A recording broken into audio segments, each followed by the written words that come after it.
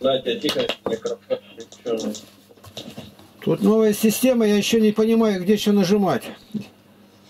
Микрофон, я- я его не вижу даже, где он. Они же заставили летом нажимать и нажимать. И я не знаю сейчас где. Она по-другому все. Ну, сидите тихонько тогда и, и все. Да мне неудобно, как это так, я мешаюсь. Покажите, какую кнопку нажать, чтобы звука-то не было. Ну, она вторая слева. Она первая камера, вторая микрофон, третья там плюсик, а четвертая красная такая трубочка. Их четыре кнопки должно быть у вас Тут, на экране. тут все по-другому сейчас, нету этого. Новую поставили они. Ладно. Потише, давайте. Началом учебного года всех. Спаси Христос.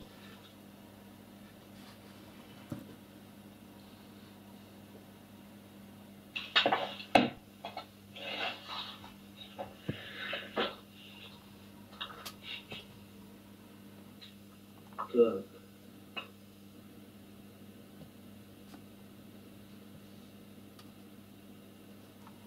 Давайте помолимся. Царю небесный, утешителю души истины, и везде сый, и вся исполняй сокровище благих, и жизнеподателю причиститель, и очистины от всяких скверны, и спаси блаже душа наша. Господи, благослови наше занятие по Слову Твоему. Не дай нам уклониться ни направо, ни налево от истинного понимания смысла. Сохрани нас в любви, согласии и единомыслии по Слову Твоему. Хвала Тебе, честь и поклонение, Отец, Сын и Святой Дух. Аминь. Аминь. Во имя Отца и Сына и Святого Духа. Аминь. Евангелие от Марка, первая глава, с 1 по 2 стихи.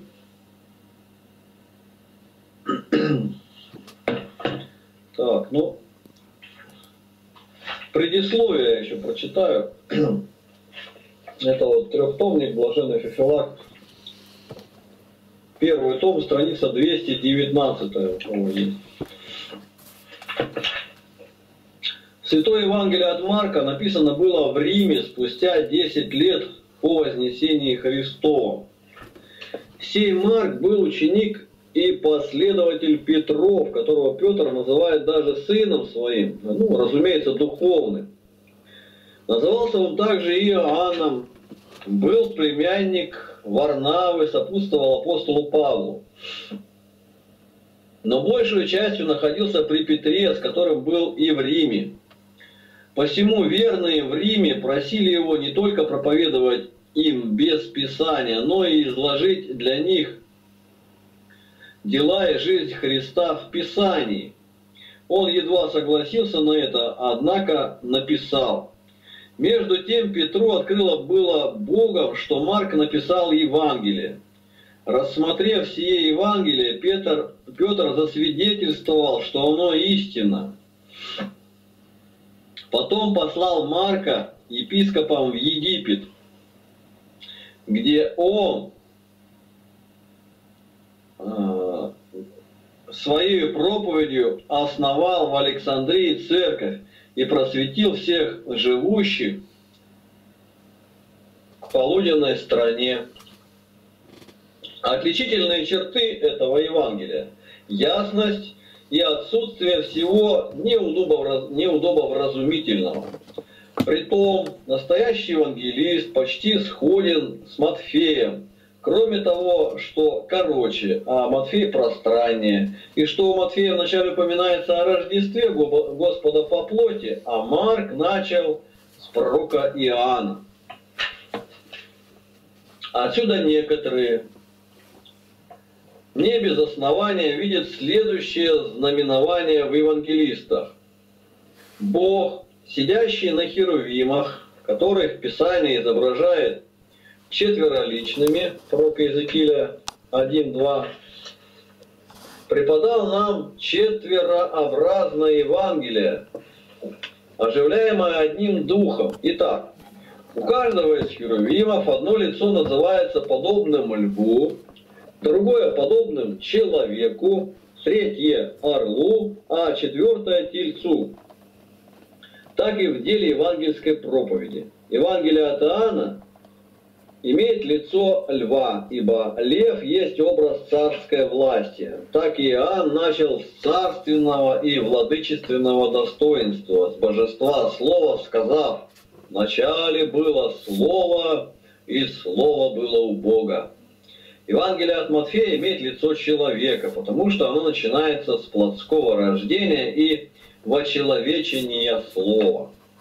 Евангелие от Марка сравнивается с орлом, потому что оно начинается с пророчества об Иоанне.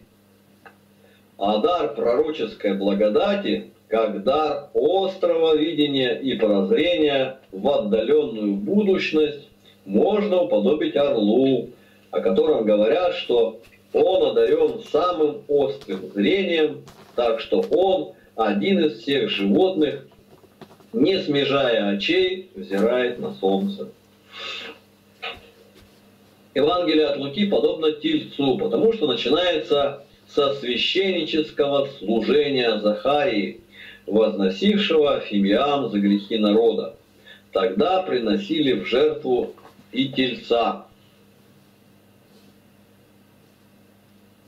Итак, Евангелие от Марка, первая глава, с 1 по 2 стихи. Начало Евангелия Иисуса Христа, Сына Божия, как написано у пророков.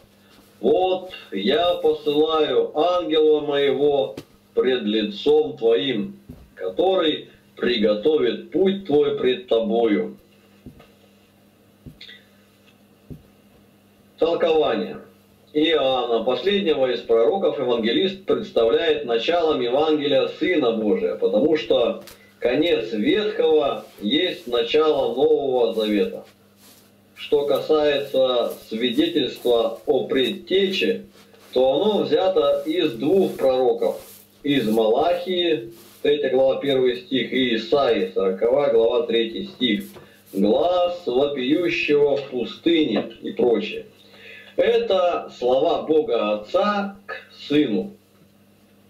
Он именует предтечу ангелом за его ангельскую и почти бесплотную жизнь и за возвещение и указание грядущего Христа. И он уготовлял путь Господень, приготовляя посредством крещения души иудеев к принятию Христа. Пред лицом твоим, значит, близок к тебе ангел твой. Этим означается родственная близость предтечи Христу, так как и пред царями шествуют преимущественно родственные особы. Глаз вопиющего в пустыне, то есть в пустыне Иорданской, а еще более в синагоге иудейской, которая была пуста в отношении к добру. Путь означает Новый Завет, а стези Ветхий, как неоднократно нарушаемый иудеями. К пути, то есть к Новому Завету, они должны были приготовиться, а стези Ветхого исправить. И вот Игнатий Тихонович Лапкин дает комментарий на слова Феофилакта Новый Завет и Стези Ветхий Завет. Новый и Ветхий. Вот такой вот комментарий послушаем. Интересно было бы посмотреть на священников, которые решились бы проповедовать прямо по Слову Божию. Вообразим, что такое все-таки где-то случится в третьем тысячелетии хотя бы один раз батюшка решился бы изъяснять священное писание как блаженный Феофилакт и дошел бы до этого места, где говорится о Библии, Ветхом и Новом Завете. Не просто говорит об этих путях и стезях, если по ним сам никогда не ходил. Стоит только начать проповедовать прямо по толкованию Феофилакта на это место.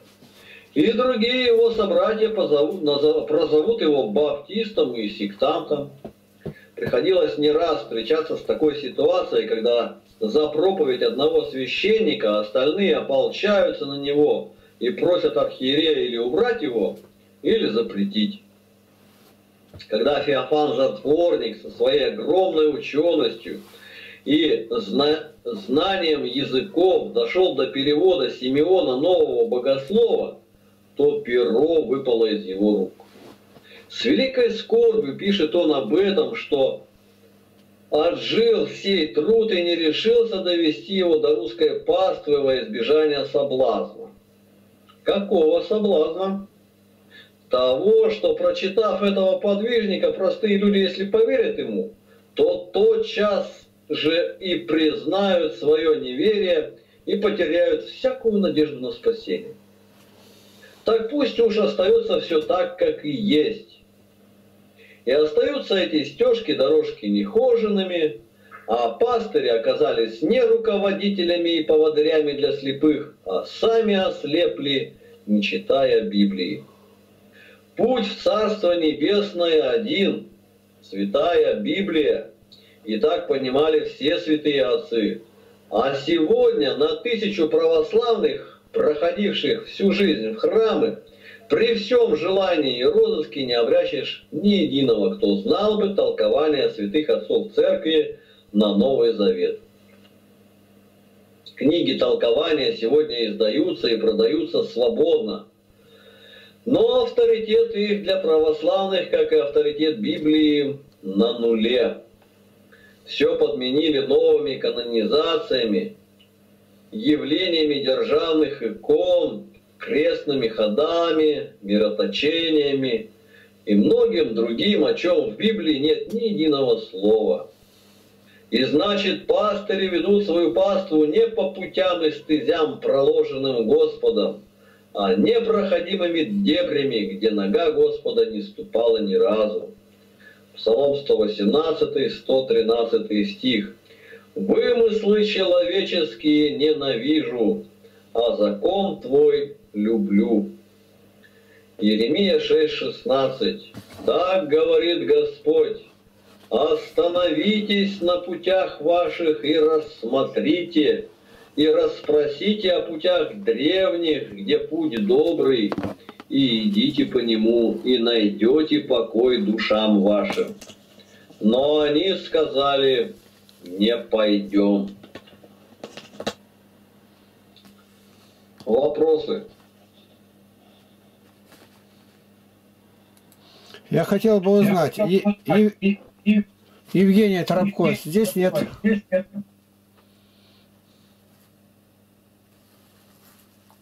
Нет, нет его с нами. Он мне скинул материал, который я хотел бы прочитать, это бы в комментарии, точно так же. Как? Да, пожалуйста, я думаю. Да хоть слушайте внимательно. Из Москвы кто-нибудь есть э, попутно?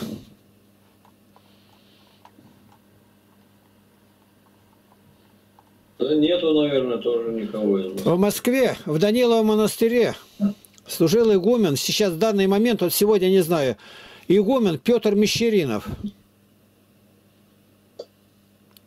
Ну, его спрашивают вот сейчас автокефалию, там, с Украиной, там. Вот что он пишет. Но мне это скинул Евгений Тропко. И окончания нету. Поэтому, если он скинет, тогда мы с половины дальше продолжим. Он говорит, как будто бы мы сегодня с ним вместе вышли из дома и вместе стали говорить народу то, что он говорит. Считаю. А по поводу автокефалии, кавычки открыты, я вот что скажу. Уже замучили. Выскажись, да выскажись.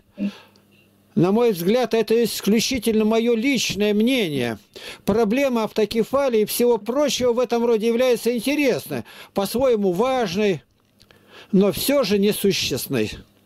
Подлинная сущностная проблема заключается в том, что современная православная церковная педагогика не приводит человека по-настоящему ко Христу. Вот и семинарии Академии, я постоянно об этом говорю. Они изучают только одно, как заглушить истину, как уметь за... умно-заумно оправдать любое безумие и беззаконие. Это я вставляю слова. Дальше Евгений, пишет он, Петр Мещеринов. Это и мой личный опыт, и вывод из многочисленных исповедей и пасторских бесед. Он игумен, исповедует людей. Я могу со всей ответственностью сказать, что вот уже как 30 лет, а я скажу, а я уже 56 лет, я всего себя всецело верил православной церкви. Это мои слова веря, что под ее руководством я обрету полноту Бога общения во Христе. По мере сил и даже изо всех сил я старался исполнять все, что она предписывает, церковь православная, обещая это Богообщение. Погружался в богослужение, церковный уклад и монашеские правила, постился, следовал руководству духовника, считал, и не только считал, но и по возможности притворял в свою жизнь сочинения православных святых отцов. И на этом пути я получал только отрицательный опыт. Расстройство здоровья и внутреннее разорение. Это расстройство, это разорение и бесплодная потеря сил – в скобках, я с горечью осознаю это сегодня со всей ясностью. Необратимы и неисцелимы. Господь по милости своей не оставил не оставляет меня, но пути, которыми Он ведет меня к себе, давно переросли рамки той недостаточной и во многом неверной педагогики, которую предлагает ищущим Бога христианам современная православная церковная действительность. И вот это для людей настоящая трагедия и проблема – а как сказал один очень неравнодушный к церкви человек, в скобках, рисковатое высказывание, но все же приведу его кавычки, какая институциональная церковность не приводит человека ко Христу? Автокефальная или не автокефальная? Не приводит ко Христу. Да какая разница? По скриптум. Во избежание недоразумения, если говорить об интересующей всех теме, в нынешней ситуации я совершенно не согласен с Константинополем. Вся эта водевильная возня с бумажками 400-летней давности, как будто в юридической практике, коль скоро мы говорим о юриспруденции, пусть и церковной, это не существует понятия срок давности и исторически сложившиеся явления. Только подтверждает тезис, что исторически сложившееся православие и подлинная жизнь во Христе не совпадающее множество. Вот об этом говорил очень часто митрополит Блюм, Антоний Штурожский. И это у меня переполнены все мои книги этим. Я старался в точности все исполнять. Все, что предписывается. Выявил все нарушения канонов, чтобы ни одно правило не было нарушено. И вот эти мне слова, когда говорят, он, он не знает где-то. Я знаю. Я Петру как бы Мещеринову говорю, у меня связи с ним нету. Я говорю, я исполняю, потому что я православный. Я полностью с ним согласен. Я не согласен с тем, что вот посты не спасешься, но они есть четыре поста. И в лагере за 45 лет мы не нарушили ни разу даже растительным маслом. Почему? Я православный. Но я должен сказать, без благовестия ничего нету, мертвый человек. Без рождения свыше нет ничего. Он, Петр почему не говорит об этом? Верующий в Сына Божия не может грешить. Не может. 5, 17, 18, первом послании говорит, верующий в Сына Божия не делает греха. Не делает. А что, он совсем не согрешить может, но это не его природа, он новый.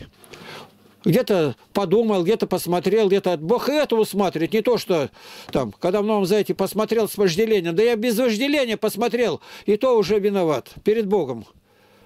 Поэтому в православии, если ты полюбил его, смирись с тем, что есть. Иначе эти рассуждения тебя вышибут сразу, и мозги твои вышибут. Я православный, все исполняю, знаю, что этим я не приближаюсь к Богу. Но послушание Бог учтет. Вот все. Спаси Христос. Слава Иисусу Христу!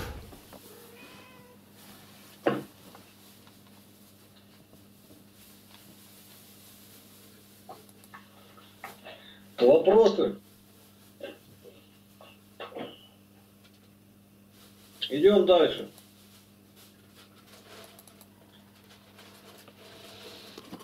Евангелие от Марка, первая глава, с 3 по 4 стихи. Так, что ты сделал? Скажи это. Вот, заткнул тряпкой. Завтра, завтра. Прибивать еще не прибивал, да? Завтра Игорь приедет. Глаз вопиющего в пустыне. Приготовьте путь Господу. Прямыми сделайте стези ему. Явился Иоанн, крестя в пустыне и проповедуя крещение покаяния для прощения грехов. Толкование. Иоанново крещение не имело отпущения грехов, а вводило для людей одно покаяние.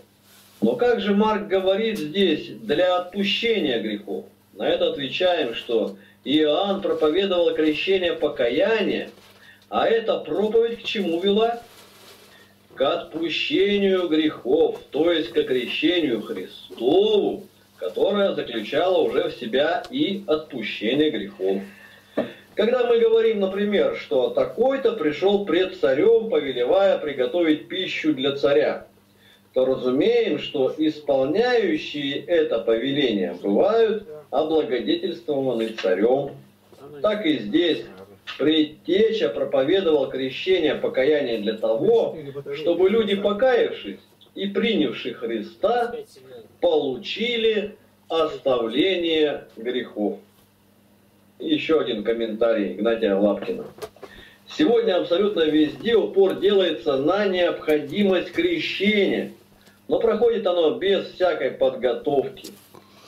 Феофилак же четко показывает, что проповедь ведет и к отпущению грехов, и к крещению Христову. Вопросы? Ну вот, к слову сказать, на предыдущий стих мы читали э, комментарий Игнатия Лапкина, и там говорится, что сегодня в Библии выпускаются свободно, но авторитета-то их нету у православных. И вот э, я смотрю недавно телеканал «Спас», общий, ну, известный телеканал, и рекламируют семейную Библию по этому телеканалу. И там как раз э, показывают, что э, картинки Гюстава Даре впервые раскрашены. Я думаю, ну, вот уже мы-то раньше раскрасили, почему они вот только начали рекламировать-то ее. И вот такая вот э, нестыковочка у них. И как-то все так они говорят, что эта книга, она как-то все таким мирским языком ну, в общем, чтобы покупали ее, что она полезна для чтения, что, что и не, не говорится даже, что это Слово Божие, а вот какая-то вот такая вот художественная книга, что она принесет пользу всем верованиям, независимо от какой вы веры, читайте, покупайте все, кому денег не жалко. И цена что-то около трех тысяч, по-моему, что ли, если я не ошибаюсь. У нас трехтомник такой, с толкованием 3000, а там одна Библия с картинками 3000. Ну, вот ради денег, конечно, все это. Да хоть бы и ради денег, ну, лишь бы Слово-то Божие проповедано было, пусть и так. Вот. И хорошо, что они рекламируют, и хорошо, что люди покупают. Да это Бог. Но вот мы тоже в прошлое воскресенье Евангелие-то раздаем, и, и... а у нас есть, а у нас есть Часто такие вопросы встречаешь. Ну, если стоит на полке-то, а видно, что человек-то мирской, его видно, и он ничем не отличается-то. Вот, так что проповеди, да, вот и сколько раз Игнатий Тихович комментарий делает, что проповедь должна быть в храме. Также Иоанн Креститель пришел, проповедовал покаяние.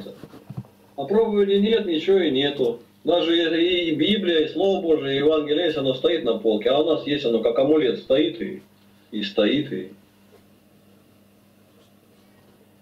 Да даже бывает человек и прочитает, а прочитает не коснулось, э, а не коснулось почему? А потому что нету примера для подражания, нет проповедующего такого, как Иоанн Креститель, который был вот, вел такую аскетическую жизнь, ему поэтому и верили. Почему Игнатий Тихоновича многие верят? А он потому что не живет так, как говорит. И, и все его тут, как говорится, не, неуязвим. Не уличишь его во лжи. Как говорит, так и живет, как вот, а- а- аскетически.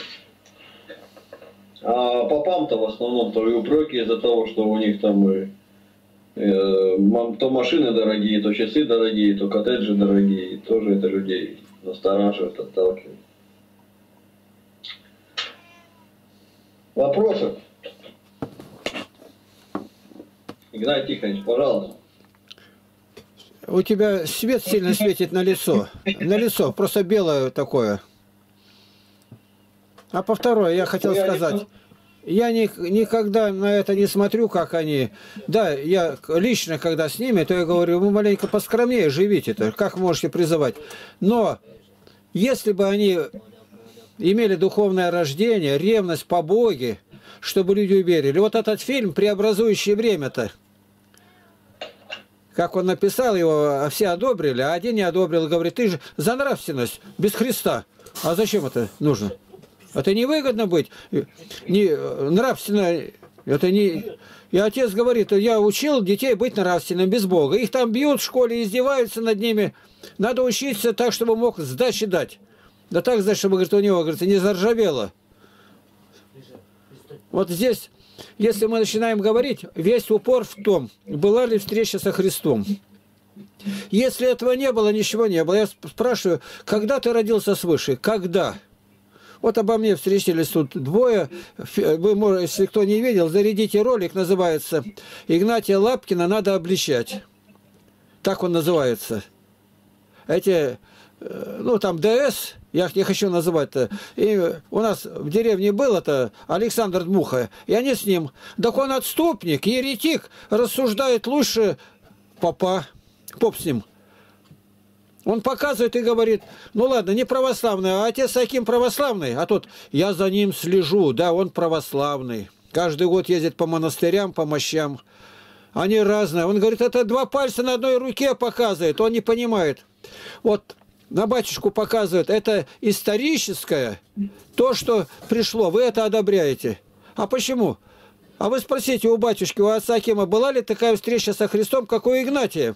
И показывает сразу, сразу ролик. Там в Латвии я, когда был э, на благовестии, на миссионерской поездке-то, и там я молился со слезами.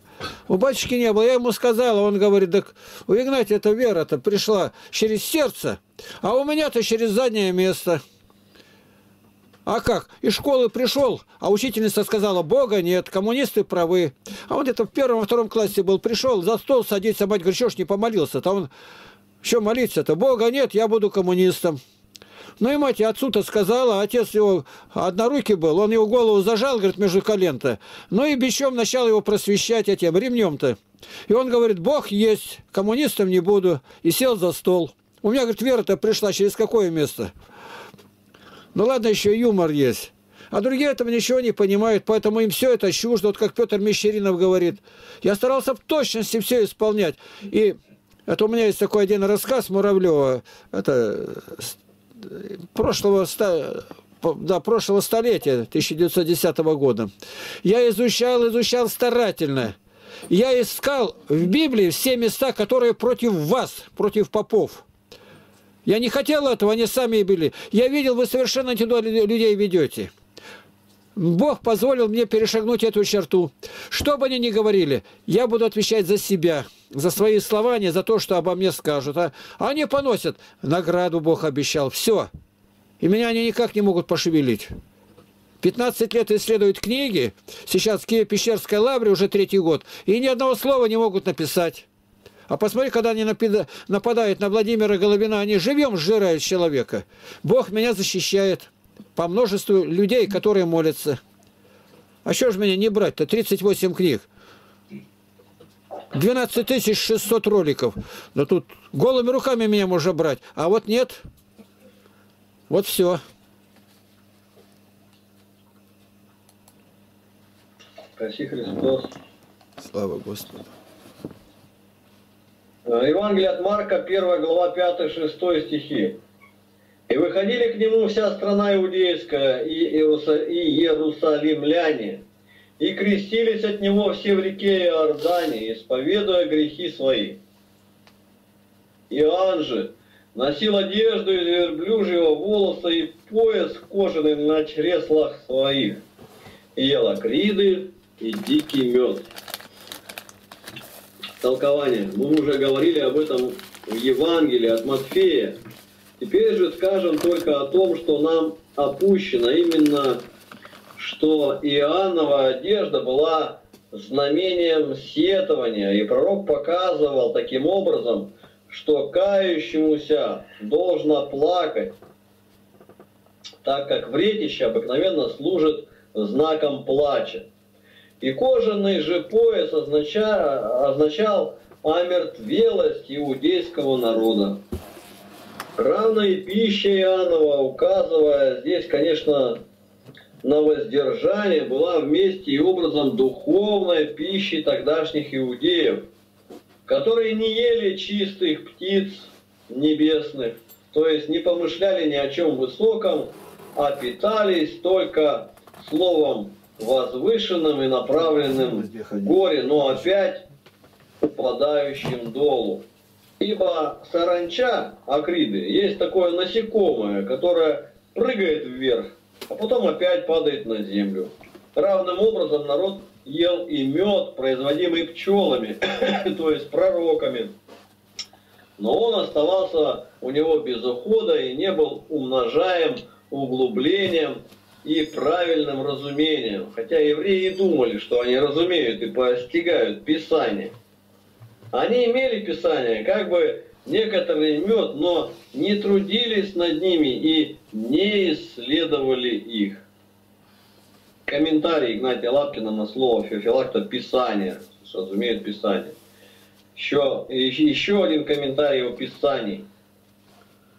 Эти последние слова блаженного толкователя сказаны прямо о православных, какими они были во все века. Запад не породил и сотой доли ересей, как православный Восток, и вся причина только в одном, что не вкушали мед Писания и не трудились над исследованием Библии, не искали ответа прямо от Господа в Слове Божием. Как в Древнем Израиле Слово Божие было утеряно, и только случайно нашли его сборщики денег глубоко в ящике под слоем мусора, так и у нас Слово Божие скрыто под человеческими вымыслами, а народ оставлен блуждать и неподготовленным подходить к лжекрещению или совсем уходить в ереси. Вторая книга Паралипоменон, 34 глава, 14 стих. Когда вынимали они серебро, принесенное в дом Господень, тогда Хелкия, священник, нашел книгу закона Господня, данную рукою Моисея. Не верится даже. Вопросы?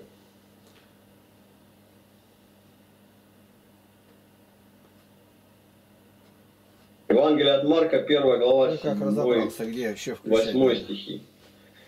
И проповедовал, говоря, «Идет за мною сильнейший меня, у которого я недостоин, наклонившись, развязать ремень обуви его.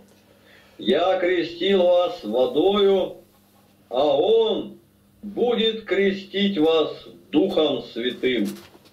Толкование. Я, говорит, недостоин быть даже самым последним рабом его, который бы разрешил ремень, то есть узел на ремне обуви его. Понимают, впрочем, и так. Все приходившие и крестившиеся от Иоанна разрешались посредством покаяния от уз грехов своих, когда уверовали во Христа. Таким образом, Иоанн у всех разрешал ремни и узы греховные. А у Иисуса не мог разрешить такого ремня, потому что у него и не нашел всего ремня, то есть греха. Вопросы? От Марка 1 глава 9 по 11 стихи. «И было в те дни, пришел Иисус из Назарета Галилейского и крестился от Иоанна в Иордане. И когда выходил из воды, тотчас увидел Иоанна разверзающиеся небеса и духа, как голубя, сходящего на него. И глаз был с небес. Ты сын мой возлюбленный, на, котором мое благоволение. Толкование. Не за отпущением грехов Иисус приходит к крещению, ибо греха Он не сотворил, равно и не для получения Духа Святого. Ибо как могло Иоанново крещение даровать Духа, когда оно не очищало грехов, как я сказал?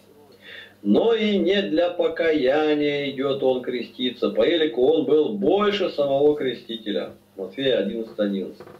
Без сомнения для того приходит, чтобы Иоанн объявил о нем народу, так как многие стекались туда, то благоволил прийти, чтобы засвидетельствовать пред многими, кто он, а вместе и для того, чтобы исполнить всякую правду, то есть все заповеди закона.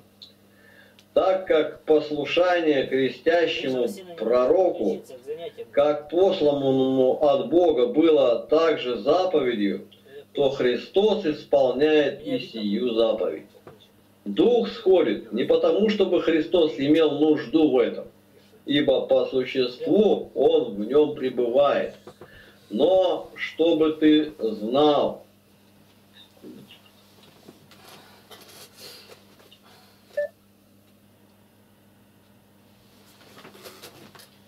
Но чтобы ты знал, что и на тебя при крещении сходит Дух Святый. При сошествии Святого Духа тотчас изречено и свидетельство. Так как Отец говорил свыше, «Сей есть Сын мой», то, чтобы слышавшие не подумали, что он говорит об Иоанне, сходит на Иисуса Дух, показывая, что это сказано о нем. Небеса же отверзаются и нам, когда мы крещаемся. Вопросы? Евангелие от Марка, 12 и 13 стихи, глава 1. Немедленно после того Дух ведет его в пустыню. И был он там в пустыне сорок дней, искушаемый сатаною, и был со зверями, и ангелы служили ему. Толкование – Научая нас не унывать, когда после крещения впадаем в искушение, Господь уходит в гору на искушение, или лучше не уходит, а отводится Духом Святым, показывая через то, что и мы не должны сами ввергаться в искушение, но принимать их, когда они постигают нас. А в гору уходит для того, чтобы по причине пустынности место. Дьявол возымел дерзость и мог приступить к нему, ибо он обыкновенно нападает тогда, когда видит, что мы одни. Место искушения было до того дико, что там во множестве водились звери. Ангелы стали служить ему уже после того, как он победил искусителя. Вопросы?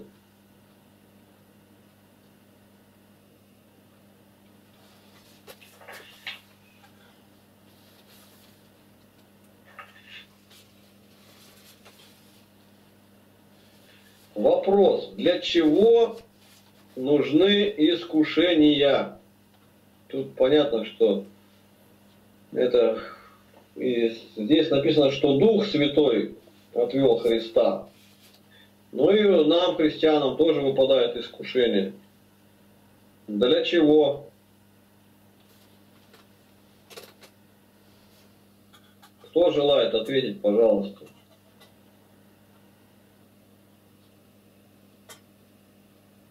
Владимир Пащенко.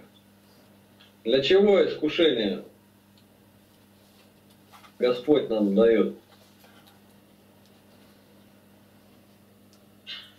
Не слышно тебя. Ну, Игнат Тихонович, пусть ответит.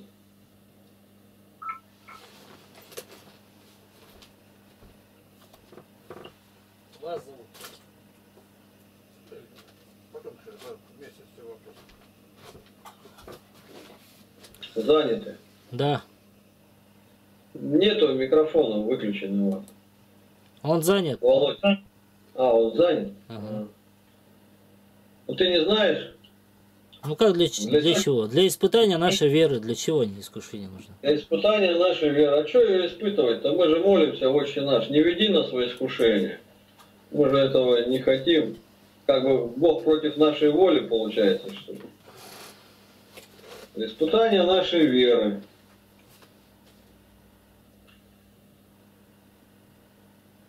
То есть, если мы э, проходим это испытание, побеждаем грех, вера наша укрепляется. А если не проходим испытание, что тогда? Может отчаяние наступить. А я вот такой грешный, супергрешный, не могу никак справиться с этим грехом. Как тогда в таких случаях быть?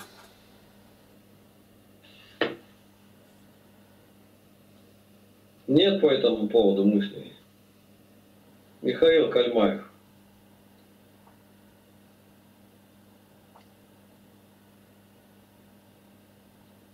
Не слышно тебя.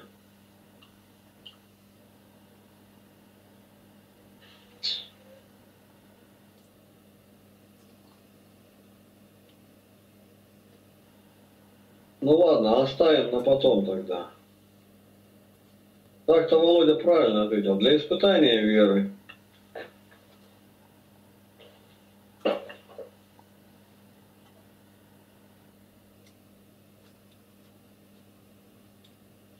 Ев- Евангелие от Марка,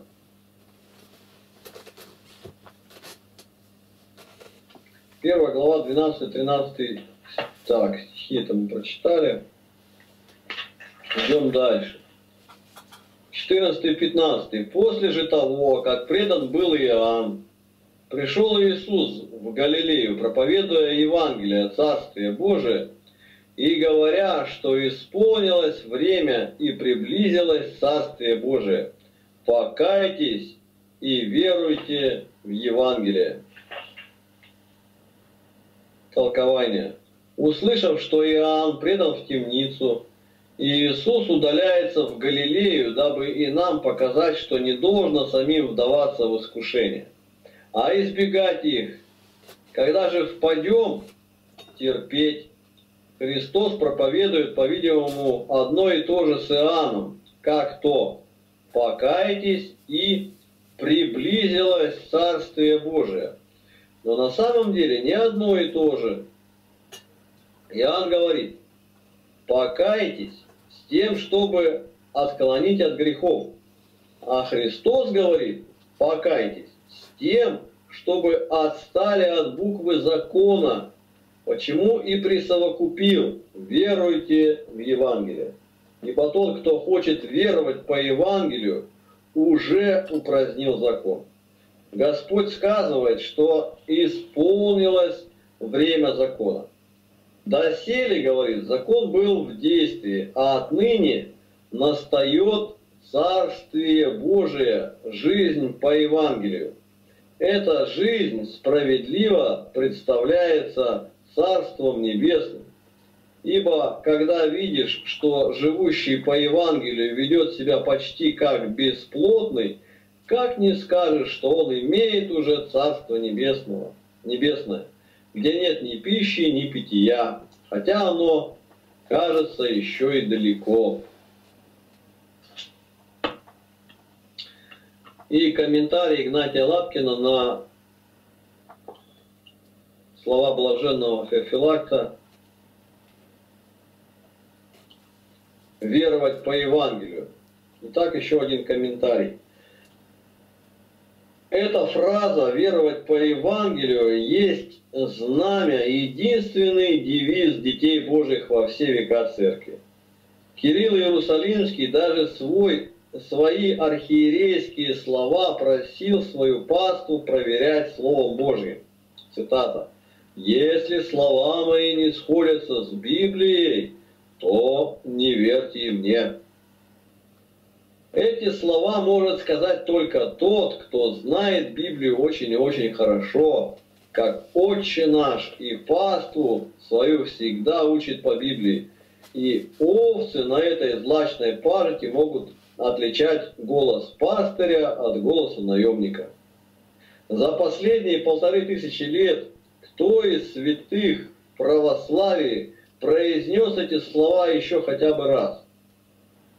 Иоанн Златоуст постоянно подчеркивал необходимость изучения Библии, чтобы быть христианином. Ну, что мы, собственно говоря, уже какой год и делаем. Изучаем Библию. Изучаем Евангелие, чтобы жить по нему. Ну а вот э, вопрос такой, что вот э, здесь сказано, ибо тот, кто хочет веровать по Евангелию, уже упразднил закон. И э, жизнь по Евангелию, здесь Филак нам объясняет, оно уже справедливо представляется Царством Небесным, ибо когда видишь, что живущий по Евангелию ведет себя почти как бесплотный, как не скажешь, что он имеет уже Царство Небесное? Ну и вопрос такой, а в чем различие между жизнью по закону и жизнью по Евангелию? Жить, живет, жить по, по, по закону, я имею в виду, ну, закон 10 заповедей Моисея, он их соблюдает. Тоже можно сказать, что он живет как бесплотный, то есть не, не, не грешит, заповеди эти соблюдает. Готов. Благодарю. В чем упразднение этого закона-то? Чем жизнь по Евангелию отличается э, от жизни по, по заповедям? В двух словах, Игнатий Тихонович, принципиальная разница. И там человек не согрешает против заповедей. А у вас что-то тут часть, он видно.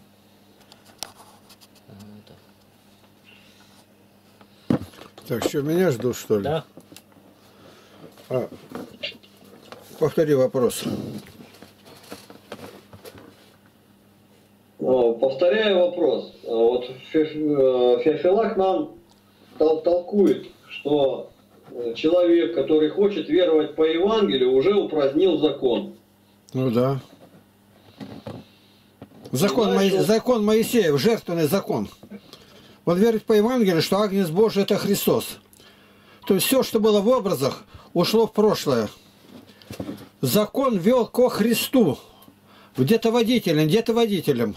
Конец закона Христос, Павел говорит. И поэтому упразднил, то есть устранил заповеди эти возвышены. Они никуда не делись, они возвышены. Но тот закон, который был дан Моисею во всех там пропорциях, когда, чего, как приносить, прикасайся, не прикасайся, это все устранено Евангелием. Мы по Евангелию, если бы жили, у нас и вопросы не возникали. Мы понимали, что закон никто не мог выполнить, его нельзя. Он указывал на грех, а силы не давал.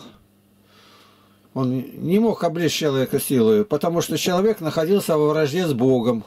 Доколе жертва Христа, то есть вознесшийся Христос, не явлен был перед Отцом Небесным. Это все антропоморфизм, чтобы как-то нам дать понятие ближе.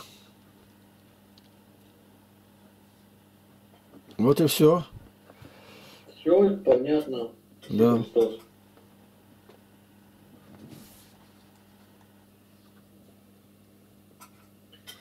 Евангелие от Марка, 1 глава, с 16 по 20 стихи. Проходя же близ моря Галилейского, увидел Симона и Андрея, брата его, закидывающих сети в море, ибо они были рыболовы. И сказал им Иисус, идите за мною, и я сделаю, что вы будете ловцами человеков. И они, тотчас оставив свои сети, последовали за ним. И пройдя оттуда немного, он увидел Иакова, Зеведеева и Иоанна, брата его, также в лодке, починивающих сети. И тотчас призвал их. И они, оставив отца своего Зеведея в лодке с работниками, последовали за ним. Толкование. Петр и Андрей сначала были учениками предтечи, а когда увидели свидетельств, э, свидетельствованного И- Иоанном и Иисуса, то присоединились к нему. Потом, когда Иоанн был предан, они со скорбью перешли опять к своему прежнему занятию. Итак, Христос призывает их теперь во второй раз, ибо настоящее... Хотел спросить, Владимир. Владимир же, да? Роликов, он выключите, Роман. А, Николай, извините.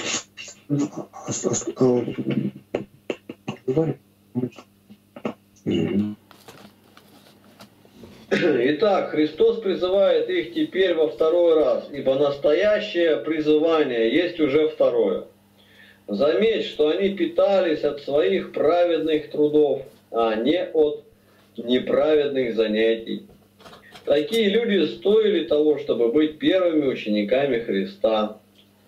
Тотчас, бросив бывшее у них в руках, они пошли вслед за ним. Ибо не должно медлить, а должно тотчас же последовать. После сих уловляет Иакова и Иоанна. И эти, хотя сами были бедны, однако пропитывали престарелого отца своего. Но они оставили отца не потому, что оставлять родителей доброе дело, но потому, что он хотел воспрепятствовать им последовать Господу. Так и ты, когда родители будут препятствовать тебе, оставь их и последуй благому. Видно, Зеведей не веровал, но мать сих апостолов веровала, и когда умер Зеведей, также последовала за Господом. Приметь же и сие, что прежде призывается деяние, а потом созерцание. Ибо Петр есть образ деяния, потому что был пламенного характера и всегда предупреждал других, что свойственно деянию. А Иоанн, напротив, представляет себе созерцание, ибо был богослов по превосходству. Вопросы?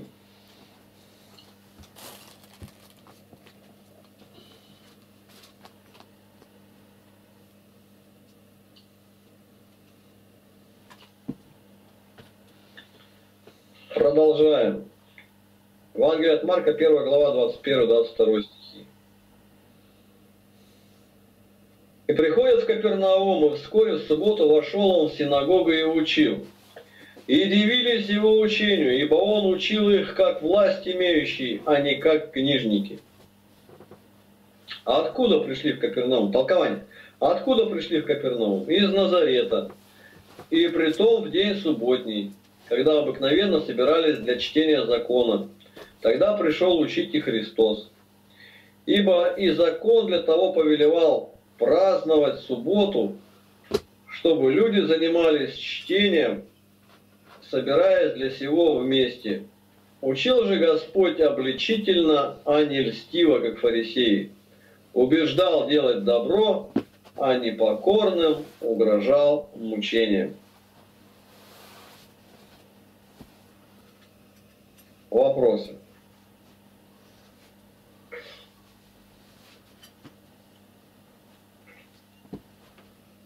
Евангелие от Марка, 1 глава, 23 и 22 стих, 28 стихи.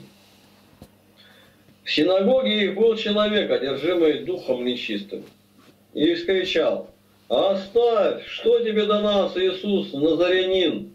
Ты пришел погубить нас? Знаю тебя, кто ты, святый Божий». Но Иисус запретил ему, говоря, «Замолчи, и выйди из него. Тогда дух нечистый, сотрясший его и скричав громким голосом, вышел из него. И все ужаснулись так, что друг друга спрашивали, что это? Что это за новое учение, что он и духом нечистым повелевает со властью, и они повинуются ему? И скоро разошлась о нем молва по всей окрестности в Галилее. Толкование. Злые духи называются нечистыми, потому что любят всякие гнусные дела. Выйти из человека бес почитает погибелью для себя. Злобные бесы и вообще вменяют злострадание себе, когда не позволяется им делать людям зло. Притом, будучи плотолюбивы и привыкшие услаждаться веществом, они как бы терпят большой голод, когда не живут в телах. Посему Господь и говорит, что бесовский род изгоняется постом. Христос заставляет его молчать, знали, что бесам должно заграждать уста, хотя бы они говорили и правду. Бес мечет и сильно трясет одержимого им, чтоб очевидцы, видя, от какого бедствия избавляется человек, ради чуда уверовали. Вопросы?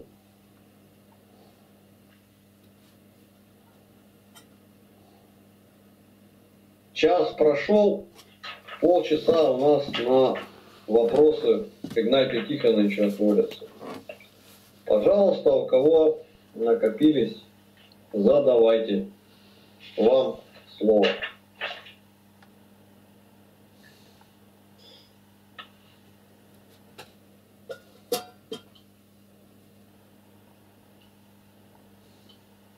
Игнатий Тихонович, как там комиссия прошла в Потеряевке в школе? Была ли она? Ну, это комиссия СЭС, санэпидемстанция. Я почти с самого начала зашел. Это в интернете будет выставлено. Я все записал. Он, который, их двое было. А зачем записываете? Я говорю, это наша история. И он больше ничего не стал говорить. В классе. Ну и сами прослушайте, я не буду повторять. Но главное в конце, я не расслышал, что они там говорят. И говорю, а что они говорили-то сейчас? Вот за, зашли в другой класс. А да положено, чтобы ширина класса до учителя было не меньше 3 метра, а там меньше, а стенка-то на 2,5. Поэтому стену эту, которая разделяет от класса, сломать надо. Стену сломать. Я такого не слыхал. Это, это не просто дурь какая-то, а это что-то запредельное не поддается определению. И дальше написано по нормам, вода должна быть проточена. Говорит, у нас вот бачок, а Лена-то живет там, ну, 50 метров от школы-то нет. Это только под, под школой должна быть пробурена скважина. Артезианская вода, ну, такая же вода. Ну, так и пробурите. Мы-то при чем здесь? Школу сами построили, все сами. Столы, все наше. Смешно даже. Ну ничего нету. Сучки там около мешали, там э, все же спилили, свету много, там побелено. Я все заснял. И вы увидите, тот, то есть причин нет никаких, а закрыть я любое предприятие закрою. Найду пылинку на твоем э, сапоге и все. Это мне не кто-то говорил, а человек, который приезжал с этой станции, зам губернатора края. Он, он это не сделает, но говорит, вот а можно сделать. Придрался и все. Тут открывать, когда храм построили, кажется, в Славгороде, это прошлые годы было, а открывать не разрешают. Все, комиссия, все, не, санэпидемстанция или кто не принимает. А почему? Но вы же говорили сделать капель, а мы сделали. Капель должен быть ровный, а у вас немножко в одном месте там выпуклое, а на нем на это выпуклом-то пылинки будут. Срубите все это. Они срубили, сделали другое. Они новую причину находят. Ну тогда настоятель, видимо, благочинный был, епископа-то в Алтае не было. Был только Новосибирский, он на Алтайск, на Красноярский край, на Томскую область и на Туву. Это один. Это один был Гедеон. А тут был Войтович. Он говорит, ну и что мы должны сделать, чтобы открыть? А они ему тогда и говорят, уполномоченный по религиозным культам, тогда был еще здесь Седишев и Лисенков. А вы Лапкина отлучите от церкви-то, и мы сразу вам храм откроем. Я когда пришел, для него это шок был. Он говорит, а как вы узнали? Когда сказать, мы же двое только в кабинете были. Я говорю, а борода для чего? То есть они не знали. Не знали, а вот узнали. Он тогда сразу и говорит, ну я же не согласился. Я говорю, я тоже знаю, что вы не согласились. Я говорю, написано такое, Ерихон будете восстанавливать на первенце своем. И далее это. Это вы в жертву приносите заранее. И поэтому враги, ну, причина-то какая? Я в последнее время много пришлось на эту тему беседовать. Страх человеческий. Вот чтобы не сделали, как бы от причастия не отлучили, чтобы... Вот, это ничего не нужно, все, в отходы. Человека в хлам превратили. Он никуда не нужен, этот человек, никому. Ну да, надо потихоньку, надо зачем это искушать, вот зачем соблазн вводить, то есть разные слова и слова евангельского происхождения, а к делу не относятся. Почему ты не считаешь? Когда апостолов били, и они сказали им, не настрого запретили. Они говорят, а кого больше надлежало слушать? Почему так-то не отвечаете своим митрополитам-то? Вы прямо скажите, ты боишься человека, а Бога не боишься. Трусливые в рай не войдут. Это предательство. Ты должен быть мужественным, будь мужественным и не бойся. Пророк Иаиль говорит 3.10, «Туда, Господи, веди твоих героев». Героев. Да еще все герои, а других нету. По высшей шкале бери. Многие бегут, но один получает награду. Я не то, что в воздух молотить руками, Павел говорит. Иду не как на неверное, наверное. Мне меньше не надо. Меньше, чем на Царство Божие, я не согласен. Я говорю, вот, православие, оно не сходится в Евангелии в самых коренных вопросах. Таинство искаженное. Искаженное все до одного. Венчают, а венец на голове не бывает. Он не венчанный. Бракосочетание есть, а венчания нету. Сзади держат. Зачем? А чтобы не запачкать. Ну, что на это сказать? Так ты храм закроешь, чтобы не запачкали пол. Безумие. Исповедует тайна исповедь, а 20 человек стоят, слушают. Ну, сделайте другую комнату-то. Гаражам всему место нашли. Ты взялся вести людей. Ты, ты, ты думай, как ты будешь перед Богом отвечать. Ты воспитай так, чтобы это были герои веры. Я вот читал ИГИЛ, запрещенная э, там мусульманская группировка в, России. Они взяли там, пленили, кого могли там поубивали. Мусульманские семьи. Ребенок кажется, 4 года или 5 лет, но не больше 5 лет. И они у них били, и было сражение, их там детей отбили. Он вернулся домой, а был-то там месяца 4, ребенок. Он никого не слушает, он кричит «Аллах Акбар!» Он палку берет и строчит, ходит все время, ползет. Его уже научили делать. Четыре месяца. Евреи говорят, вы дайте нам детей до четырех месяцев, а потом делайте что угодно. Лев Толстой, если я не ошибаюсь, 82 года был, он говорит, половина, что есть во мне, половина я получил до четырехлетнего возраста. Вот где грань. Четыре года. Четыре. А сегодня так, как не надо ребенка, пускай поспит, потом еще наработается. Златоуст готовится не сейчас, то когда. Среди ночи подними его. Пусть выслушает одну другую молитву. Изнеженное племя никуда не годное совершенно. Я говорю то, что все знают. Но соедини это вместе. Мы христиане. Христиане. Почему те исполняют пятницу, эти субботу, а мы воскресенье? Даже на этот вопрос не могут ответить. Ничего не знают совершенно. Я говорю, вот ты священник, ты людей учишь. Где ты ведешь занятия? Какие занятия? По Слову Божию. Какие? Почему вами не охвачены столь многочисленные и показывают на слой населения вот там, там, там, там? Почему нет? А ему еще говорит, да они и так неверующие, там все воруют да блудят. В первую очередь не все, а во-вторых, ты не знаешь, где камень лопнет. Они будут бурным ветром против тебя, а я тебя сделаю, сделаю скалою, пророк Иеремия. Получил ответ.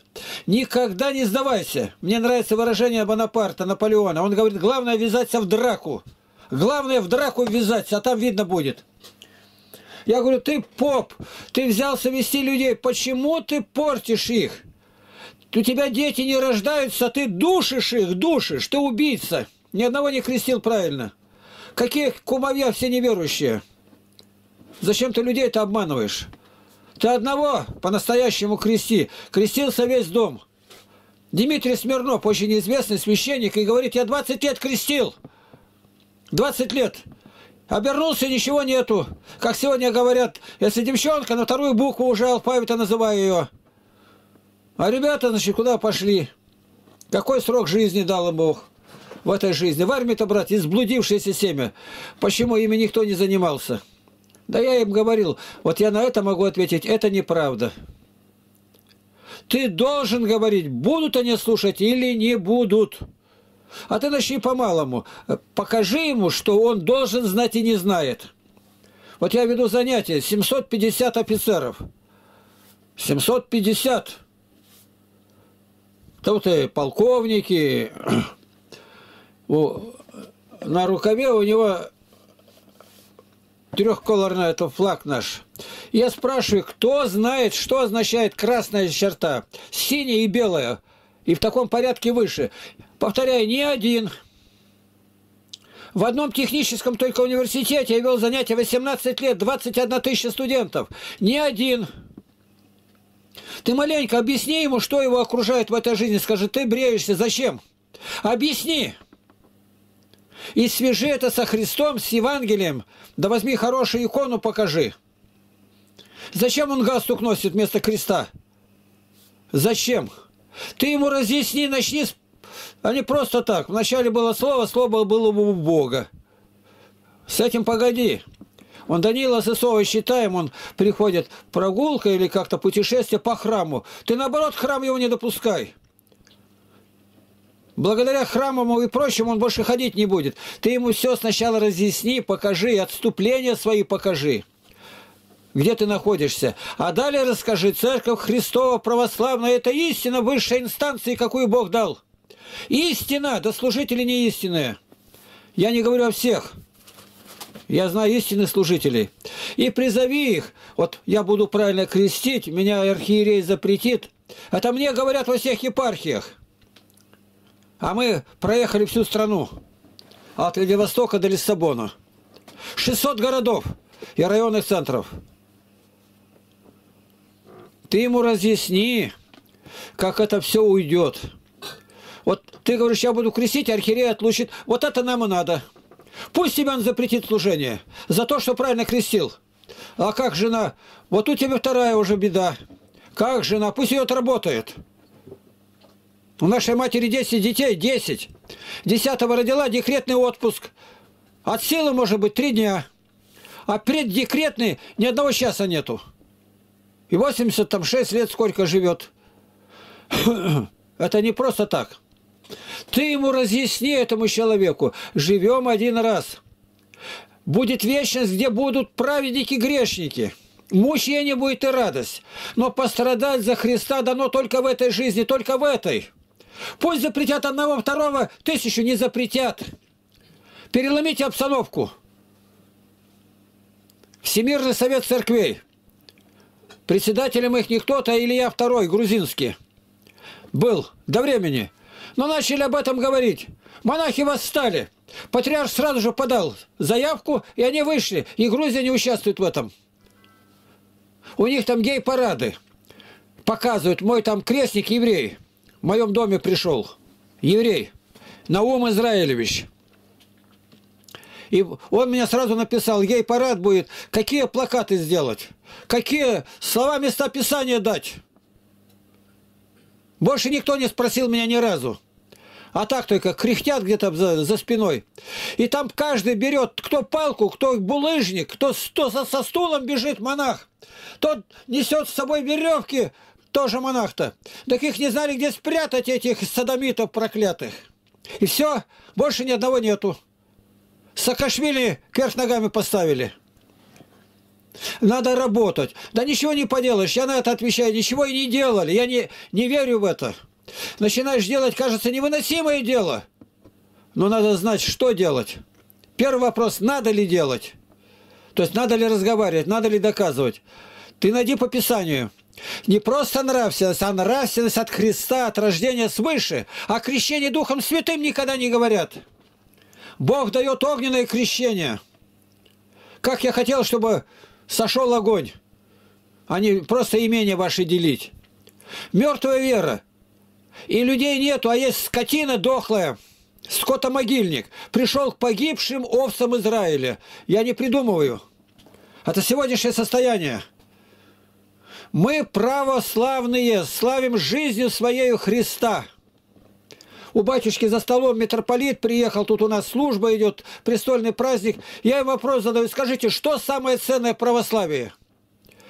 Повторяю, ни один не может ответить. Я говорю, вы, вы, поистине рукоположенные, имеющие благодать освящающую.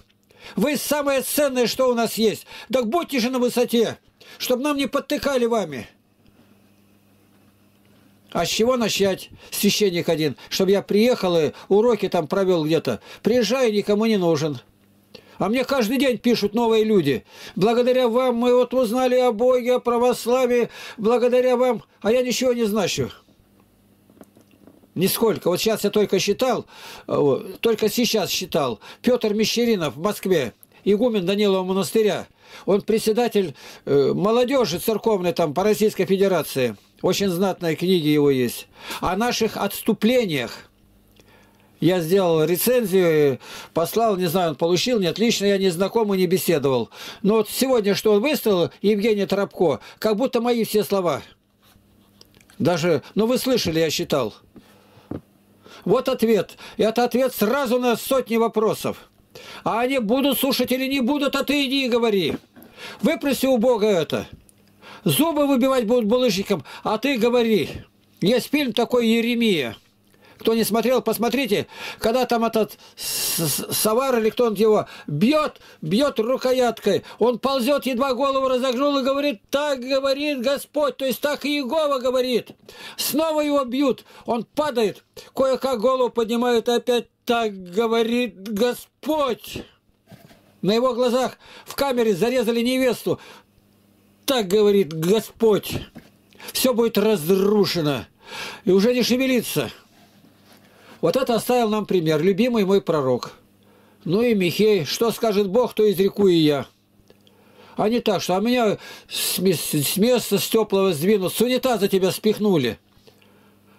Патриарх Кирилл об этом говорит, я его посылаю на север, он мне говорит, там воздух разреженный, дышать нечем. Я говорю, какой тебе воздух, ты монах?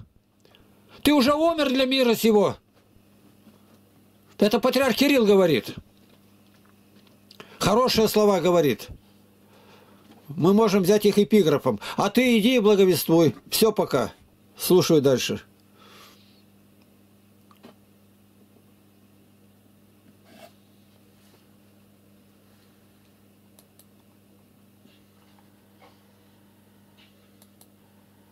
Нет вопросов ни у кого.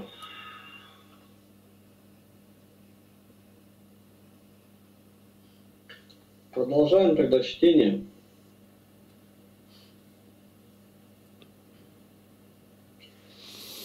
Двадцать девятый, тридцать первый стихи. Выйдя, вскоре из синагоги пришли в дом Симона и Андрея с Иаковом и Иоанном. Теща же Симонова лежала в горячке, и тотчас говорят ему о ней.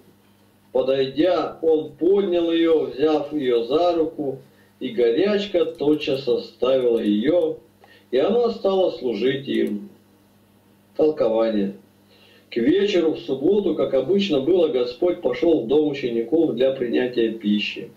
Между тем, та, которая должна была послужить при всем, одержима была горячкой. Но Господь исцеляет ее, и она начинает служить им.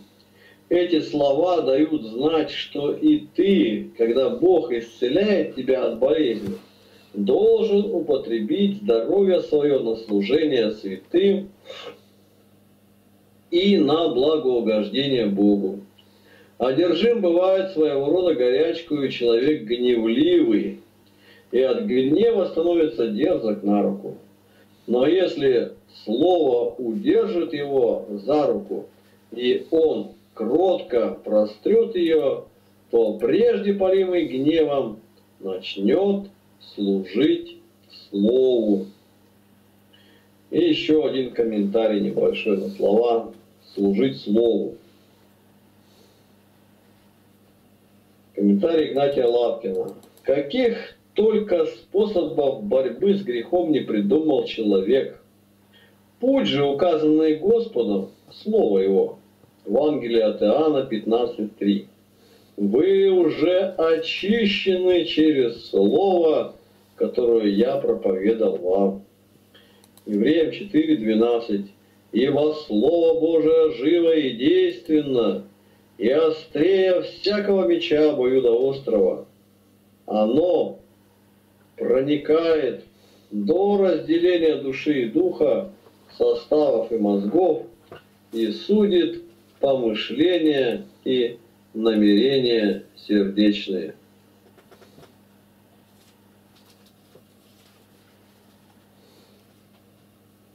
Второе Тимофею 3,16. Все Писание Бога духновенно и полезно для научения, для обличения, для исправления, для наставления праведности. Знание Слова Божия удерживает человека от колебания, совращения, делает его способным исцеляться через Слово. Об этом сказано в Библии не сотни, а тысячи раз. И однако же Библия не пользуется в православии никаким авторитетом. И что ждет за это пастырей и народ?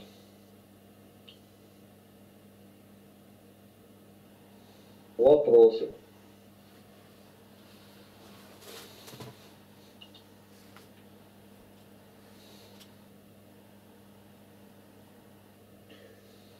Евангелие от Марка, 1 глава, 32-34 стихи.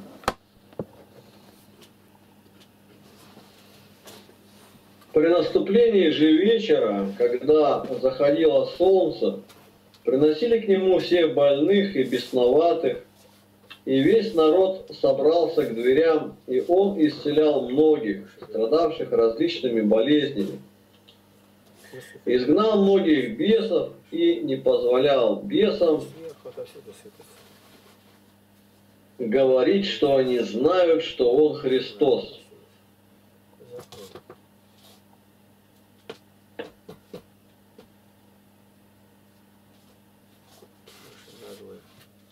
Толкование. Бесам не позволял говорить для того, чтобы научить нас не верить им. Хотя бы они говорили и правду. Иначе, если они найдут кого-либо вполне доверяющего им, то чего не сделают проклятые, примешивая к правде ложь.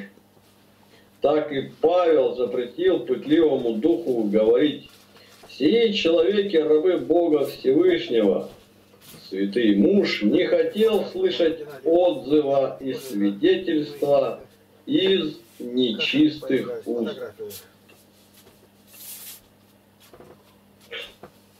Вопросы?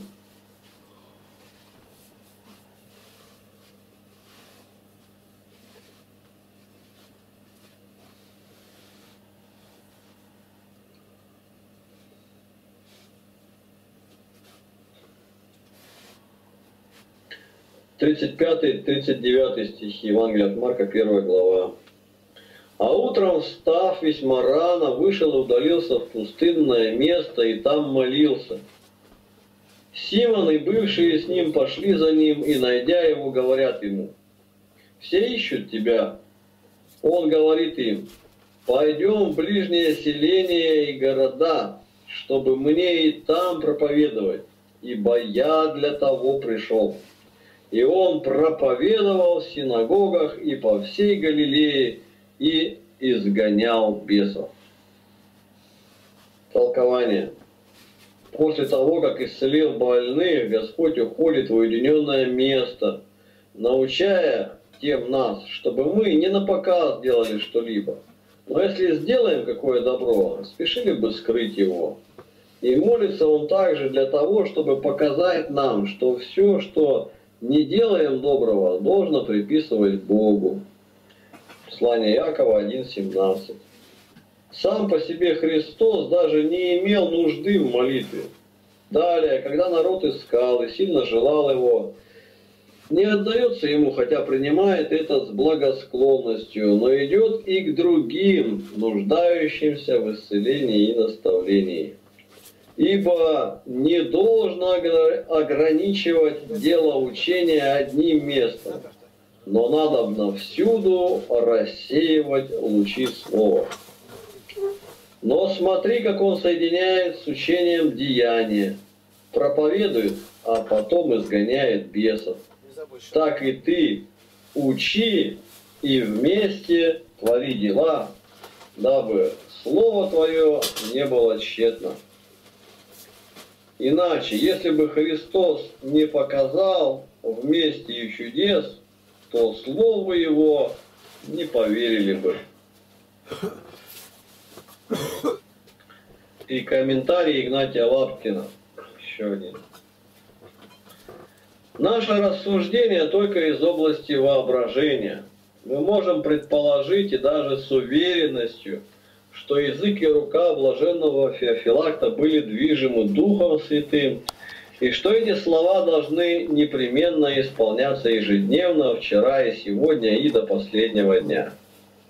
Но на практике мы видим, что православные пастыри с Библией в руках не идут ни в народ, ни на Амвон, и не толкуют священное писание, потому что не знают его совсем.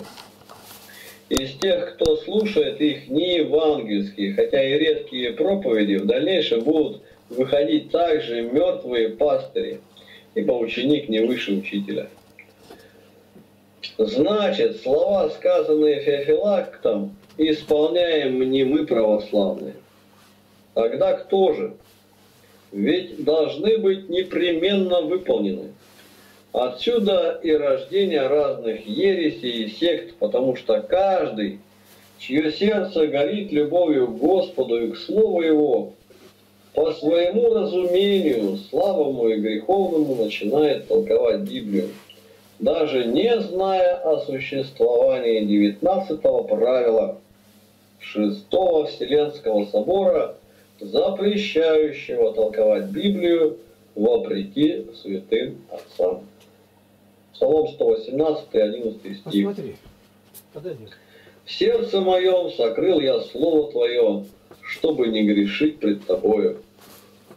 В каком бедственном состоянии находится православная церковь среди бушующего моря, когда покашен светильник, Слово Его, животворящее мертвых. Почему Псалом подписи нет? 118, Раньше были. 105 стих. Слово Твое – светильник ноге моей и свет в стезе моей. О, если бы слова Феофилакта приняли сегодня как повеление и благословение, не должно те, которые ограничивать сейчас. дело учения одним местом. Нету. но надобно всюду рассеивать лучи я подвешу это? Вопросы. Подвешу этот хлеб сегодняшний? Конечно. Подвешать. Потому что и сухари, все это убрать. Нам Евангелие от Марка 1, Или куда-то залазить. 40, 42.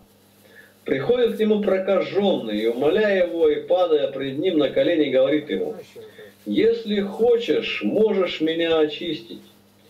Иисус, умилосердившись над ним, простер руку, ну, коснулся его и сказал ему, «Хочу, очистись». Что-то После сего слова проказа тотчас сошла с него, и он стал чист. Толкование. Благоразумен был прокаженный и веровал, посему не сказал, если попросишь у Бога, но веруя в Него, как в Бога, сказал, «Если хочешь». Христос, прикасается к Нему, знак того, что ничего нет нечистого. Закон запрещал прикасаться к прокаженному как нечистому, но Спаситель, желая показать, что нет ничего в природе нечистого, что требования закона должны упраздниться, и что они имеют силу только над людьми, прикасается к прокаженному.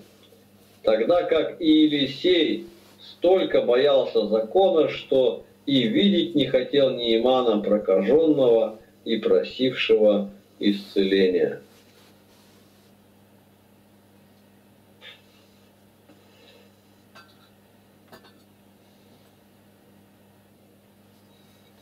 Вопросы?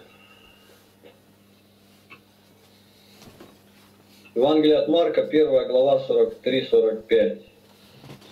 И, посмотрев на него строго, тотчас отослал его и сказал ему, «Смотри, никому ничего не говори, но пойди покажи священнику и принеси за очищение твое, что повелел Моисей во свидетельство им». А он, выйдя, начал провозглашать и рассказывать о происшедшем, так что Иисус не мог уже явно войти в город, но находился вне в местах пустынных. И приходили к нему отовсюду. Толкование. И всего научаемся также не выставлять себя на показ, когда оказываем кому добро. Ибо вот и Иисус сам велит очистившемуся не разглашать о нем.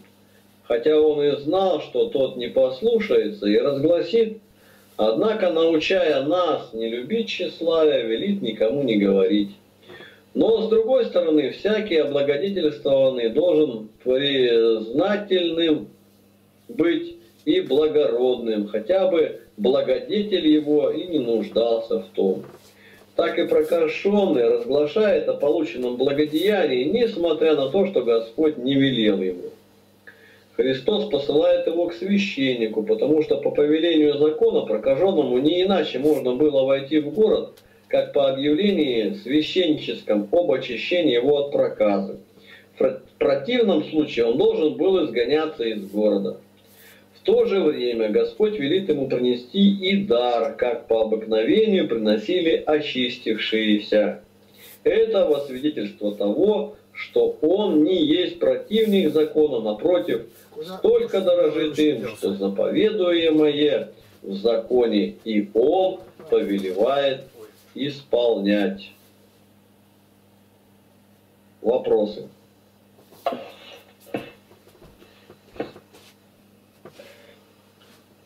Так. Все, время вышло у нас сегодня.